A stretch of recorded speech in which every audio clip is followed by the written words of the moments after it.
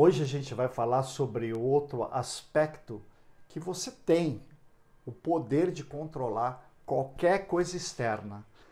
Eu vou ser bem breve e, além disso, vou ser bem didático para você poder entender exatamente o que, que a gente vai passar. Eu vou falar sobre modalidades e submodalidades.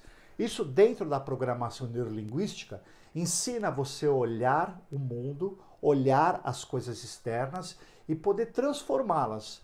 Que nem, por exemplo, sabe aquela, aquele momento em que você discute com uma pessoa, ou você vê uma cena, ou acontece algo que te desagrada e aquilo fica te incomodando o dia inteiro, ou você acabou trocando ideia com alguém e uma pessoa é, falou algo que te incomodou muito e aquilo fica remoendo dentro de você, remoendo e passa dia, semanas, meses e até anos e você lembra daquela cena, daquela, daquele fato que aconteceu e aquilo acaba causando certos, certos sentimentos e gerando emoções, tipo angústia, mal-estar, tristeza.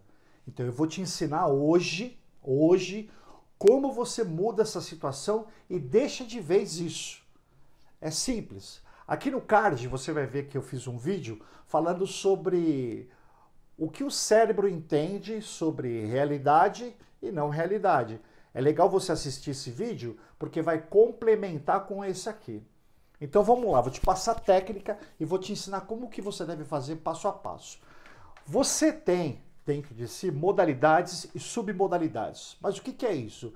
É a capacidade de você mudar é, áudio que passa no seu ouvido, visão, imagem, uma série de coisas. Por exemplo, se eu pedir para você fechar seus olhos agora, nesse momento, e lembrar de uma, uma imagem ou de uma cena que te deixou muito mal, que te deixou caído, você vai fechar os seus olhos e essa cena vai vir na tua mente.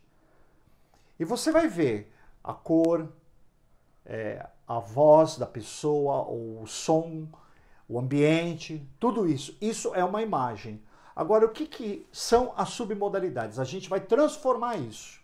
Então você vai pegar essa cena que te deixa muito angustiado, muito triste, muito mal, que às vezes você está tendo um gatilho externo que você está passando por algum lugar e você lembra dessa cena. E por alguns minutos ou até o dia inteiro você acaba ficando mal com isso. Então você vai lembrar dessa cena e vai fechar seus olhos. Então assim que você fechar seus olhos, eu peço que você entra nessa cena. Literalmente. Veja cada detalhe. Veja o ambiente onde você está, a roupa que as pessoas estão usando, você está usando. Entra no diálogo. Se você conseguir fazer isso, a gente vai dar o próximo passo. Eu vou esperar você alguns segundos a memorizar isso. Entra na cena, vê com requinte de peculiaridade, sabe? Vê cada detalhe. Isso, se possível, você consegue até sentir o cheiro. Isso que eu estou te falando são modalidades. Agora a gente vai mudar essa cena. Agora, no momento em que você ouvir a frase, ou a palavra, ou, ou algo que te deixou angustiado, eu vou pedir para você mudar o tom da voz da pessoa. Coloca uma voz bem acelerada. Isso. Acelera bem, rápido, rápido. Isso, bem rápido. Isso. Agora, a imagem que você está vendo, eu não sei como é que está na tua mente. Se ela está colorida, se ela está em preto e em branco, se ela está distorcida, não sei. Mas você, conforme tiver essa imagem, eu peço para que você agora, nesse momento, desfoca essa imagem. A voz está acelerada e desfoca a imagem. Isso.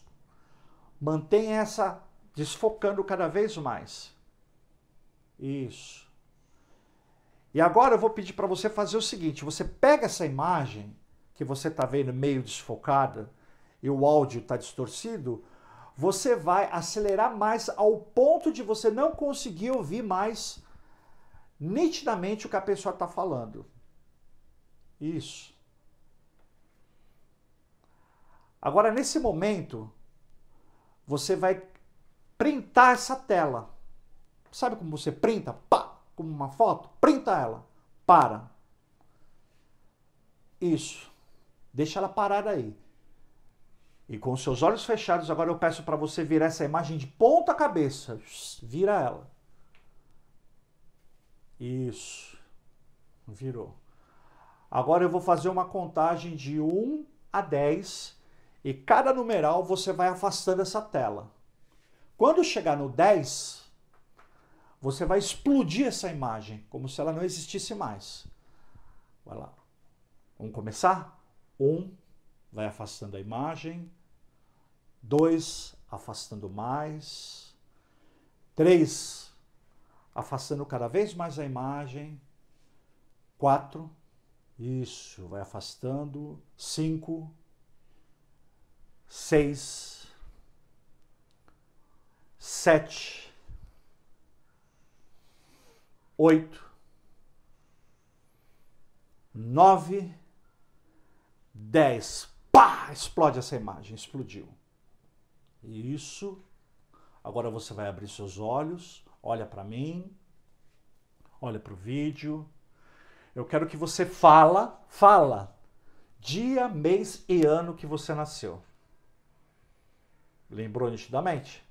Agora fala para você aí, onde você estiver, o endereço que você mora. Falou? Beleza. Agora eu vou pedir para você, com os olhos abertos, lembrar dessa imagem, dessa cena que te deixou muito angustiado e como é que você fica agora, nesse momento. Qual é a sensação que você tem? O que o seu corpo fisiológico diz? O que os seus sentimentos dizem? Você vai sentir que ela já não faz tanto sentido. Que já não te machuca como machucava antes. E se você porventura tiver um gatilho externo, ou seja, que você passar por algum lugar, ou você ver alguém, ou você sentir uma cena, ou sentir um cheiro que vai te arremeter novamente a essa a essa imagem que você teve outrora, ela não vai mais te afetar como te afetava antes. Esse processo chamado de modalidades e submodalidades é o poder que nós temos de mudar a sensação de, daquilo que nós sentimos através dos cinco sentidos. Ou seja, você fechou os olhos, você viu a imagem, eu posso colocá-la em preto e branco, eu posso colocá-la desfocada, eu posso colocá-la quadriculada, eu posso colocar ela no mosaico.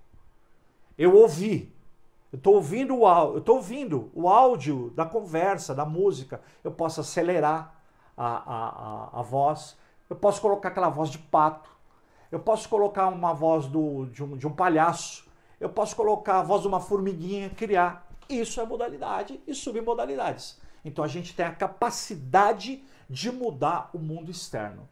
Lembra, eu quero que você coloque isso na sua memória. Lembre-se de que tudo que está fora da gente, fora isso que a gente está vendo, nós temos a capacidade de transformar através dos nossos cinco sentidos. Ou seja, tudo aquilo que você vê, que você cheira, que você sente, que você ouve, ele pode ser totalmente transformado e não é a realidade, é uma realidade sua. Ela pertence a você. Então, quando alguém fala alguma coisa de você, interpreta seu comportamento, narra aquilo que você está falando, é uma realidade dela, da pessoa, não sua. E a mesma coisa é você para com os outros e para qualquer fato que aconteça no seu dia a dia. Eu espero que esse vídeo tenha te ajudado. Se você tiver alguma dúvida, escreve nos comentários, deixa aqui, me manda uma mensagem, enfim, a minha rede social está aí para você trocar ideia comigo. Eu estou aqui para te ajudar. Eu sempre vou fazer um vídeo breve explicando cada coisinha para que dia a dia você venha crescer cada vez mais e mais. Eu te espero, eu te espero até o próximo vídeo. Até mais e a gente se encontra por aí.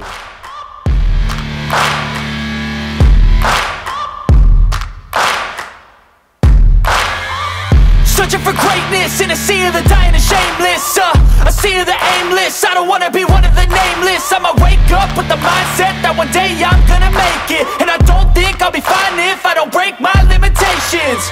Don't try to stop me, I exist to write my own story. I'll make a decision